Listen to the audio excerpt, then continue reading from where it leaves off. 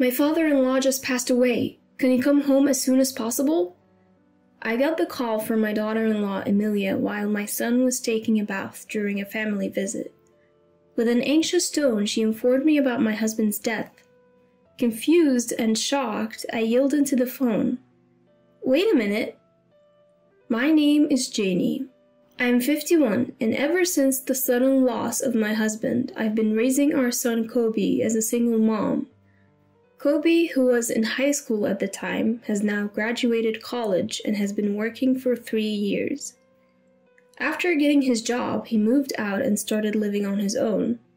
Now he's married and he and his wife help each other to make a good life. His wife Amelia is on the quiet side and is, according to Kobe, good at household chores, a good wife. However, from the first time we met, she seemed distant, like she wanted to keep space between us. I mentioned it to Kobe, but he just laughed it off, saying it was all in my head, but I couldn't shake off the feeling. Emilia seems like she'd prefer to avoid our home. She only shows up for Thanksgiving and leaves without spending the night which only confirms my suspicion. Kobe is my only son, and I had always hoped to get along with his wife. I've even asked Emilia directly if there was something bothering her. Being as gentle as possible, I asked if I had done anything to make her uncomfortable. She simply replied, No, nothing at all. I eventually gave up on getting close to Amelia, thinking it's just the way younger people feel nowadays.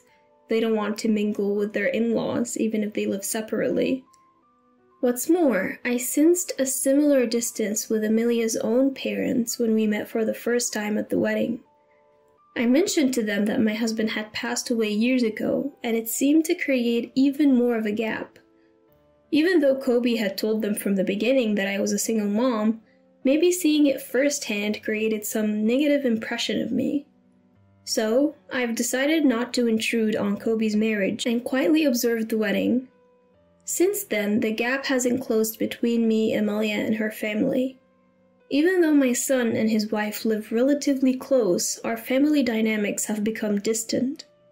Today, Kobe brought over some wedding photos, but of course, Emilia was nowhere to be seen.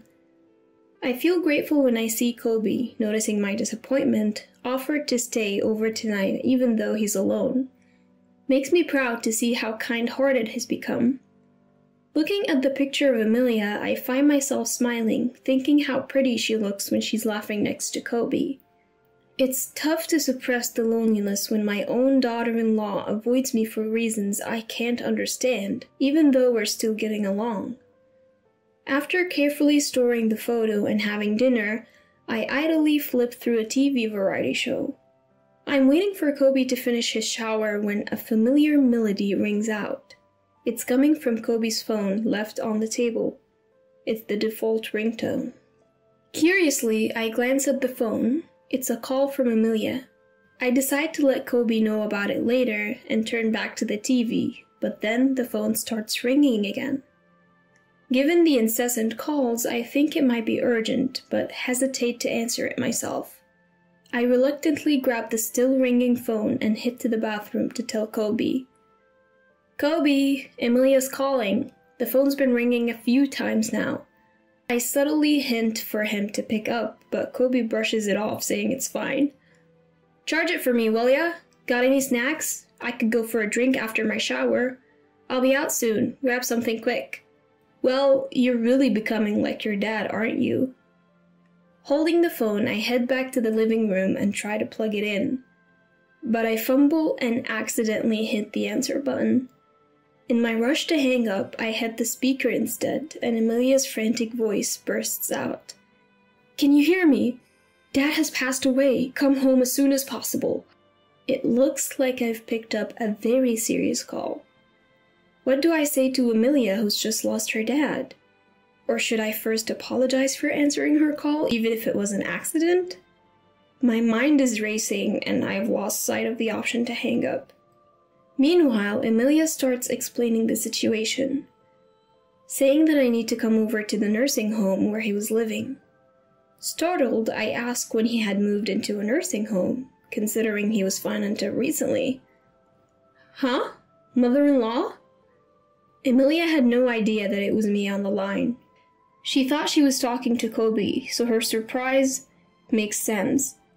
I quickly explain the situation and steer the conversation back to her dad. But she corrects me, slightly annoyed. It's not my dad. She says it's Kobe's father who has passed away and asks me to tell him to call her back before trying to hang up. I was utterly confused, but quickly spoke into the phone, still on speaker mode. Wait a second, Amelia, isn't this some kind of mistake?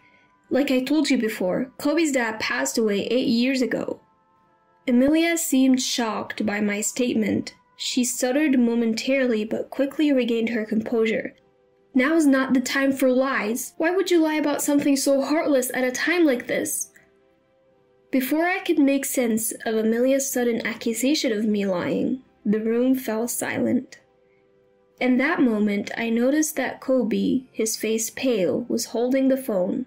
The call had ended.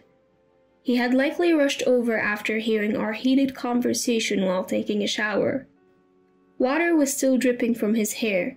It was clear that he'd hurriedly grabbed the phone. I asked Kobe, who was deliberately avoiding eye contact with me, what was going on. What did Emilia mean when she said your father just passed away?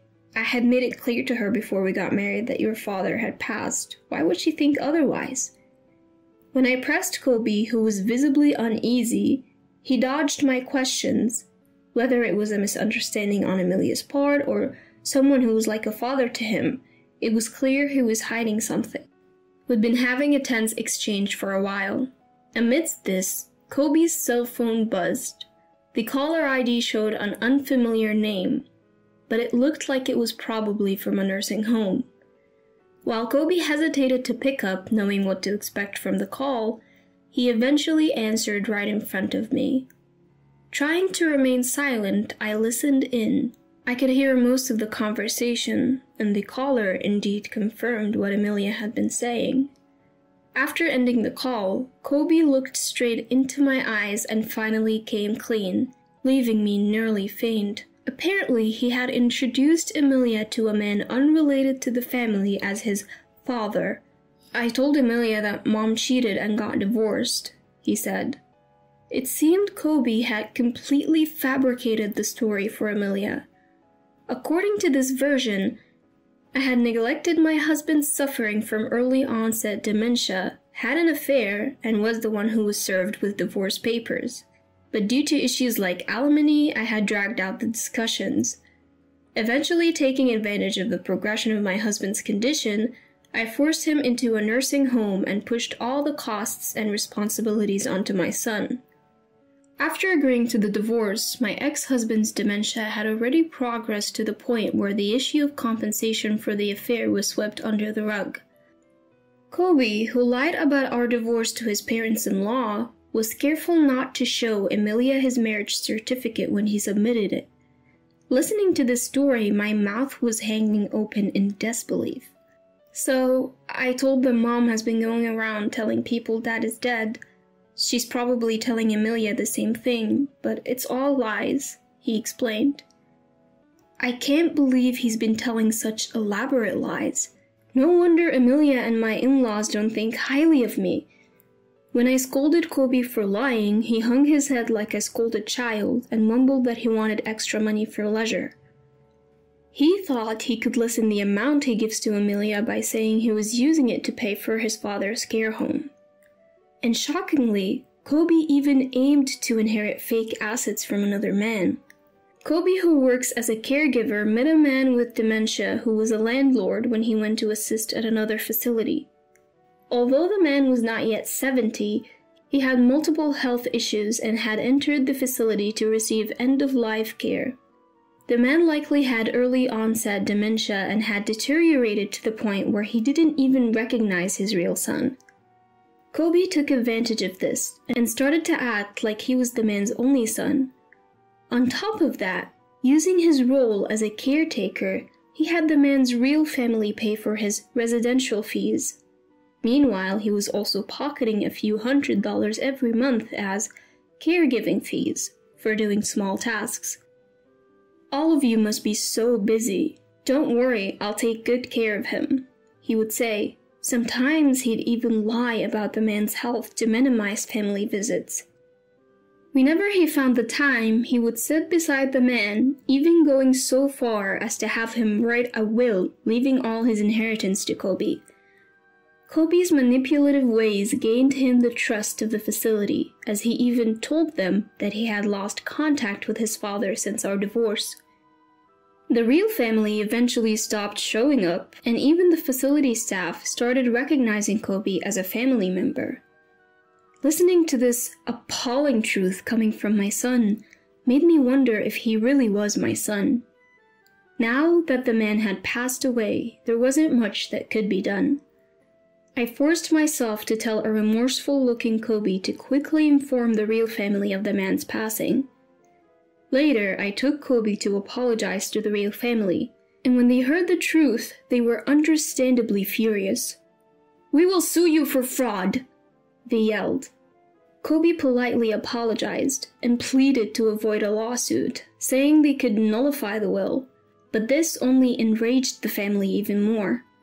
From the family's perspective, nullifying the will was a given, Nothing had been resolved, including the caregiving fees and the manipulation of the deceased. Kobe, who seemed to think a simple apology would suffice, was at a loss in the face of the family's blazing anger and clung to me, nearly in tears. Going to court is impossible. Mom, you know it too, right? I don't have money to pay for damages. I've told you everything. Help me. A mother always defends her child, doesn't she? I can't say I'm completely unaffected by the desperate plea from the son I've raised for over 20 years, but I have no intention of helping him. He's done something truly awful. I believe he needs to face the full wrath of the family and offer a sincere apology from the bottom of his heart. I apologized deeply, just like Kobe had, and all I could do was show my sorrow to the family as a parent. From that point on, Kobe's life spiraled downward. Emilia, who was his wife, filed for a quick divorce and returned to her parents' home. When faced with the prospect of divorce for lying so egregiously and swindling money from others, Kobe argued back. I don't want to break up, the money was also for Emilia. When they expressed their wish for a swift divorce and even threatened legal action and financial claims, Kobe had no choice but to back down. He knew that he could be in legal trouble for what he'd done, Although no claims had yet been made, he was being sued by the family of the deceased man. Perhaps he realized that he wouldn't be able to handle additional claims from Amelia. Furthermore, Kobe got fired from his job. The company claimed he damaged their reputation and shattered their trust in caregivers. After the court's decision, Kobe was required to pay back the caregiving fees he had received, as well as compensation for the emotional suffering of the deceased man's family. The will left by the deceased man was invalidated, taking into account the progress of his dementia. Kobe, who had almost no savings and was already unemployed, was now burdened with massive payments, including legal fees. Choosing city life for better job prospects, he rented a small, old apartment. He's barely making ends meet through day labor, trying hard to continue payments. He had reached out to me for help multiple times. Each time, I told him I had already helped enough by co signing his lease and urged him to reflect on his mistakes. Now, juggling multiple jobs and searching for better paying work, he doesn't even have the time to complain. As for me, I continue to live alone, However, Emilia and her parents graciously visited me to apologize. They said they were sorry for their ill mannered behavior, which was based on a misunderstanding of me. But I knew it was all my son's fault. We left it at that, acknowledging the unresolved issues between us. Since there were no children and the divorce was finalized, I don't expect to meet Emilia again. However, we still exchange seasonal greetings through letters.